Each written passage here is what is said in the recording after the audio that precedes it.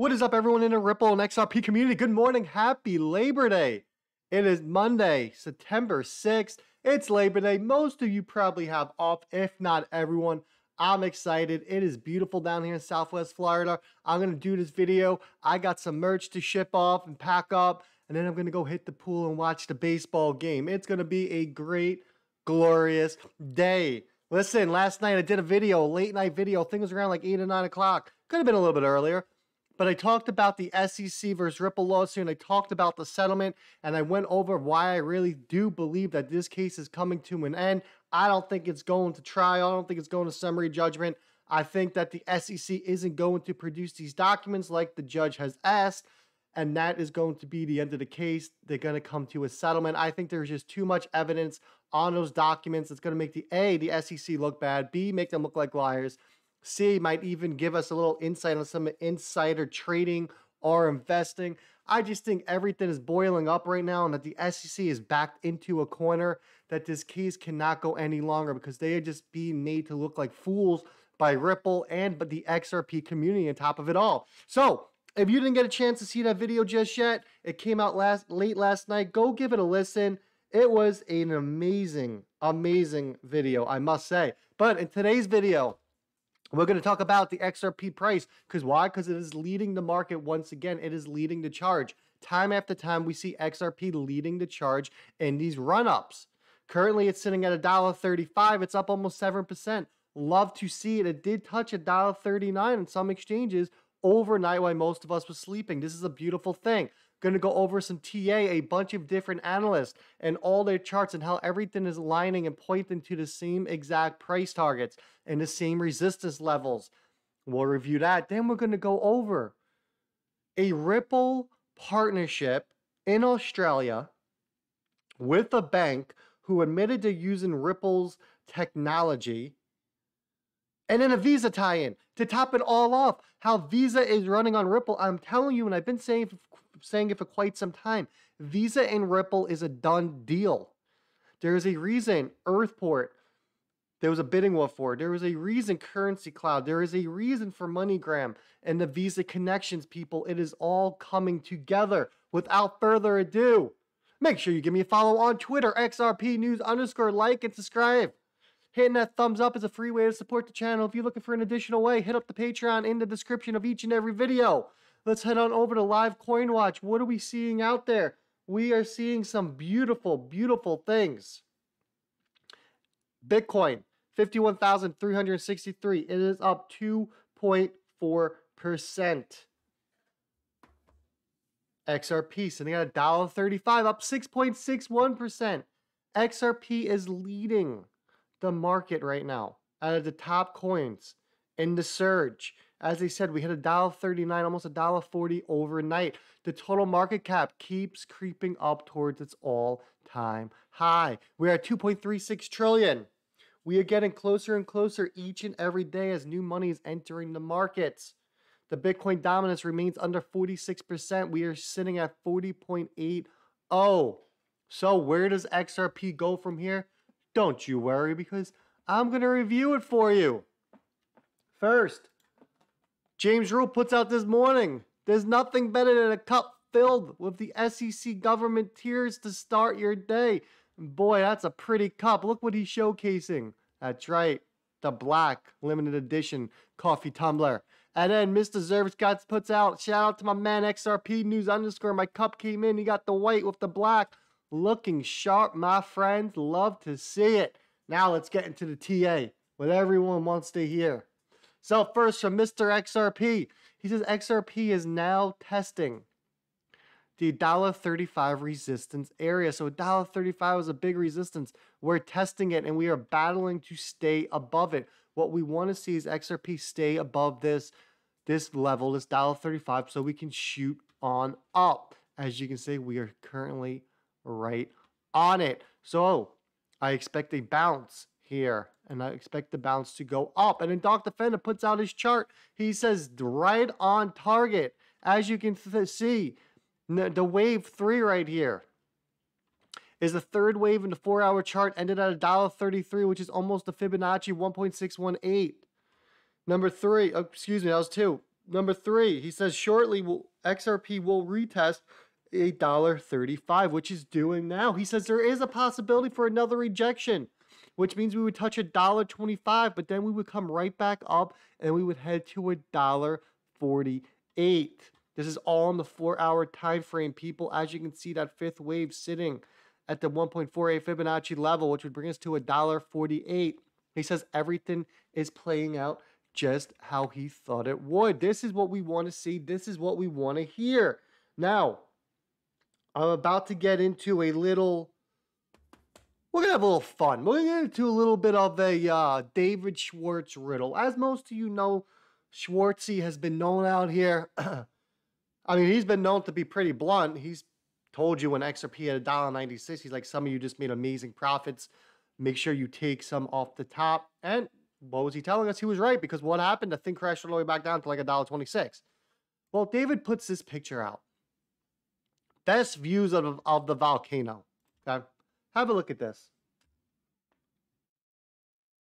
All right, you've seen it, right? Interesting. So, my perspective out of this XRP is ready to blow. That's what I'm thinking. That's what a lot of other people are thinking, right? He's showing us a volcano that hasn't erupted yet because XRP is about to erupt. That's the message I think the man might be trying to get across. He has been right pretty much every time he puts out something like this. I mean, you you just don't randomly put out a picture of a volcano, right? I mean, maybe you do if you're on vacation, but I don't think the man's on vacation. So, but there was another, there was another person who made a comment that was very interesting. Let me scroll down and show you his comment right here from Lucky Nanny. Free photo volcano Seattle. Let's blow this up. It looks pretty familiar, doesn't it? Let me scroll back up. Look at that. Right? And he says, settle. Could Schwartz be telling us possibly that there is a settlement on the way? I think so. One of the two. We're either getting a settlement, which I believe, which means actually they both lead into each other. What am I even talking about? Wow, why didn't I put this together earlier? I just put it together right now. A settlement, which I made a, a full video on late last night because I have nothing better to do on a Sunday night with a day off tomorrow. A settlement which would lead to the volcano erupting, to the price of XRP exploding, people. This is pure genius. I don't know. Time's going to tell. I find this to be very interesting. Let's keep on going. From Michael at Val 5 Links, something I covered yesterday. The Ripple attorney seems to almost guarantee that Bitcoin, Ethereum, and XRP documents that the SEC refuses to turn over will be absolutely exculpatory and potentially end the case. I'm telling you. The, they hand them over, and there's so much damning evidence that this case comes to an end. Ripple's like, listen, guys, how far are we going to go? I mean, come on let let's let's figure this out. Let's get get this case over with. Let's both move ahead. Or you might hear my dog throwing up in the background. Or the SEC's like, listen, we're not going to hand these documents over, Ripple. All right, let's just figure this out. Let's settle. Something's coming. Something's about to pop. I appreciate this info from Michael. It is great, great information. And now we're going to get into this Ripple XRP on demand liquidity Visa news people from XRP. You amaze me. Appreciate this, my man. Thanks for tagging me. It says Ripple on demand liquidity partner, industry first bank in Australia. Put out, we are we are excited to announce that we have partnered with neobank Volt in order to bring greater speed and stability to our customers. Read below for more information.